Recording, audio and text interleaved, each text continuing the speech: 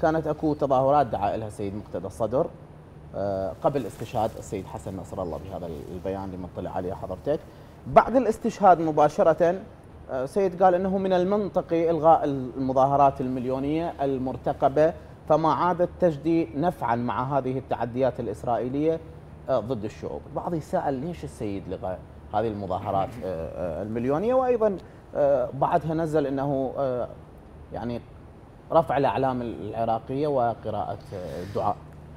مقتدى الصدر آه، يعني الكثير ممن آه، يعني يلاحظون تصرفاته سلوكياته عنده قراءة للمستقبل المظاهرة دعا لها أبان انعقاد آه، يعني يعني انعقاد جلستين جلسة في قطر وجلسة في القاهرة مخرج جلستين كانت كأنما تنظيم لعملية هدنة أو إيقاف الحرب في غزة وكذلك في جنوب لبنان لاعتداء الكيان الصهيوني. آه، كانت هذه المو... أثناء الانعقاد يعني كان لم يكن هنالك رفضا آه، صهيونيا بالمناسبة.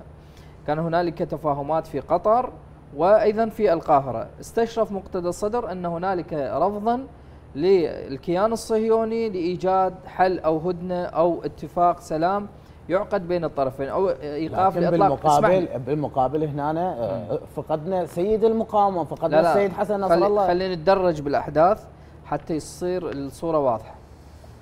آه، إلغاء المظاهرة طبعا هذا جاء أثناء انعقاد هذه الحوارات. المظاهرة كان بعد الاستشهاد؟ لا قبل الاستشهاد. الإلغاء صار قبيل آه، حادثة البيجر. الحادث الإرهابي لتفخيخ أجهزة البيجر ألغى سماحته لدواعي أنا من وجهة نظري. أولا دواعي تكتيكية لأن لم يعد التظاهر وعمليات الاحتجاج توجي يعني تجدي نفعا.